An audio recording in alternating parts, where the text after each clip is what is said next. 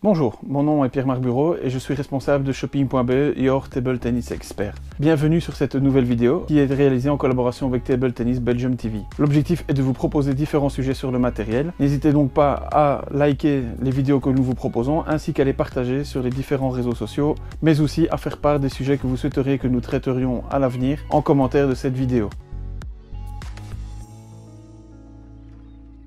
Il faut savoir que cette vidéo a aussi été réalisée en collaboration avec la société Dr Neubauer, qui nous a fourni pas mal d'informations, mais également aidé dans la réalisation de cette vidéo.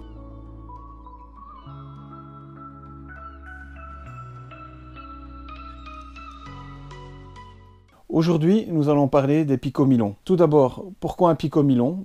Un picomilon, ça a l'avantage de pouvoir ralentir le jeu et d'accélérer le jeu. Le gros avantage du picomilon, c'est que sur du jeu passif, il peut être très gênant pour votre adversaire, tout comme sur le jeu actif, puisqu'il va vous permettre d'attaquer, mais aussi de faire des blocs aussi bien passifs que actifs. Qui dit Pico Milon dit aussi revêtement de défense. C'est clair, mais c'est pour une défense près de la table. Donc il sera surtout intéressant de jouer avec un Milon quand on est euh, occupé avec du bloc sur les attaques de l'adversaire. Ça va vous permettre de pouvoir proposer des balles qui vont s'écraser et surtout d'avoir une stratégie de jeu derrière. Alors, il y a également des différences de dureté entre les picots milons, comme sur un revêtement classique. Donc, plus le revêtement va être tendre, plus il va être contrôlable et il va pouvoir avoir un effet plus gênant aussi. Plus il va être dur, plus en fait il va pouvoir accélérer le jeu et il sera un peu moins gênant.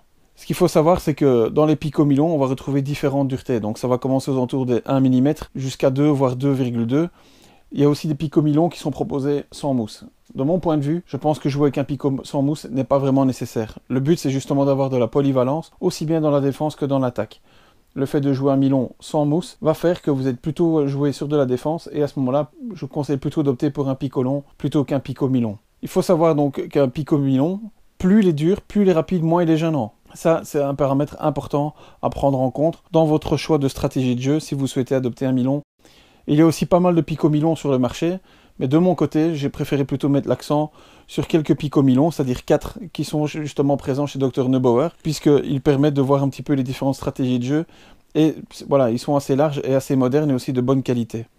Alors, je vais tout d'abord parler des deux premiers picots milons qui sont le KO et le KO Pro, que je vais vous montrer ici à la caméra. Donc le KO et le KO Pro. À la base, c'est la même technologie qui est utilisée pour les deux revêtements ici. Le KO est plutôt un revêtement qui a été développé pour faire des blocs passifs et surtout pour avoir une balle qui s'écrase. Donc c'est peut-être chez Neubauer, là où la balle va s'écraser le plus, c'est avec le KO. Donc il permet aussi d'avoir un niveau de contrôle très élevé. C'est peut-être même le picot Milon le plus contrôlable du marché, mais c'est surtout un picot qui va travailler surtout l'efficacité et la maîtrise du jeu. À côté de ça, on a aussi la version Pro. La version Pro, en fait, elle propose plus de vitesse et donc quand on est plutôt actif en contre-attaque ou en frappe, on va avoir plus d'aisance avec le KO Pro qu'avec le KO normal. Par contre, l'efficacité et le fait de gêne sont sensiblement les mêmes entre les deux. À côté de ça, chez Neubauer, on va aussi retrouver deux autres Pico Milon qui sont les agresseurs et les agresseurs pro que je vais vous montrer ici aussi à la caméra.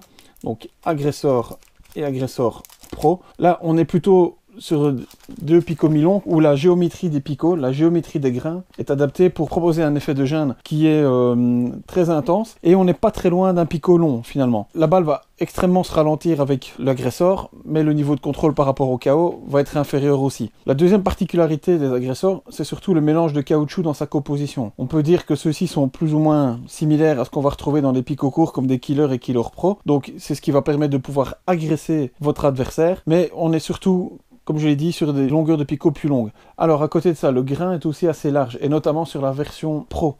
Donc sur la version Pro, on va alors retrouver beaucoup plus d'effets de gêne que sur la version agresseur classique. Mais par contre, il va permettre aussi de jouer plus facilement sur un jeu agressif, donc le jeu en contre-attaque, ainsi que le jeu en frappe. C'est vraiment la, version Pro d'agresseur qui est la plus adaptée pour mettre un maximum de pression sur votre adversaire. Donc mon conseil serait tester d'abord la version KO et KO Pro, voyez un petit peu comment vous en sortez, et une fois que vous maîtrisez le Pico Milon, ben, à ce moment-là, optez plutôt pour l'agresseur et l'agresseur Pro. Voilà un petit peu l'explication au niveau des picots milons. J'espère en tout cas vous avoir aidé à trouver le picot milon idéal. N'oubliez pas, donc c'est un picot polyvalent qui permet de jouer la défense et l'attaque. Et ensuite, ben, on peut vraiment ratisser large au niveau des sensations. Je vous conseille aussi de ne pas jouer loin de la table avec un picot milon, ça n'a pas vraiment d'utilité. Donc c'est vraiment pour le bloc près de la table. Alors une question classique que nous recevons avec les revêtements spéciaux, notamment les picots Milon, ben, c'est la durée de vie. Après combien de temps je dois changer mon picot Ça va dépendre du style de picot Milon qui est sur votre raquette, mais aussi euh, du style de mousse qui est adapté en dessous du picot. C'est un peu comme un picot long. Je reviendrai aussi sur le picot long, mais au fur et à mesure de l'usure, ben, soit vous allez perdre des grains sur le picot, soit ces grains vont se fendre, ou soit c'est la mousse qui va être entre guillemets défoncée. Donc on va vraiment voir qu'à un moment donné, en mettant en appuyant sur le, sur le picot, ben, on va ressentir que cette mousse, ben, elle a moins de flexibilité, elle va moins rentrer vers le bois, elle devient un peu plus dure, et donc voilà, c'est ce que j'appelle la mousse défoncée. À ce moment-là, ben, il faut changer de picot. Je vous invite à consulter les prochaines vidéos qui traiteront les sujets plus en profondeur au niveau des Antilles, des picolons, mais également au niveau des bois. N'oubliez pas aussi de liker cette vidéo, mettez vos commentaires, visitez notre site internet www.shopping.be. Vous y retrouverez aussi l'ensemble des plus grandes marques de tennis de table avec les différents matériaux proposés pour la pratique de notre sport, mais également différentes promotions. Je vous dis à très bientôt et merci pour votre attention.